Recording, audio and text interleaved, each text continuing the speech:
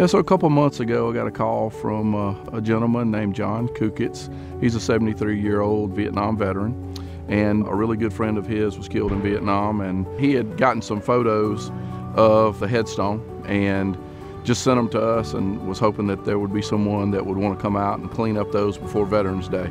Yeah, of course, uh, it kind of looks like Chamber Cemetery has kind of been left alone for a long period of time, and so they've been sitting here in the weather, and obviously with all the trees around, they've pretty much been covered with moss and just dirt and grime, so pretty bad shape.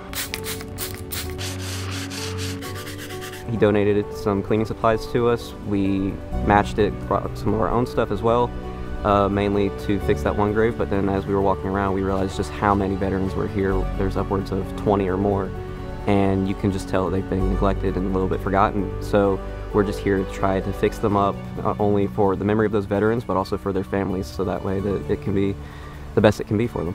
It's very humbling to come out and clean up their headstones as a way to honor them, honor their families, the sacrifices that they and their families made to our country. I know if my family was buried somewhere far away and they couldn't come visit, or I couldn't come visit, and someone cleaned up their their gravesite, that would mean the world to me. As we were going through, we, we thought we were finished, and then we end up finding three, four, five more because they're in a separate area or there's some overgrowth over it. So we're just trying to, you know, continue to raise that awareness for them and let people know that they're here. And so far, it's been we've seen great results. I feel like we've taken 50, 60 years off of some of these headstones. So I could be more proud of how it's turned out.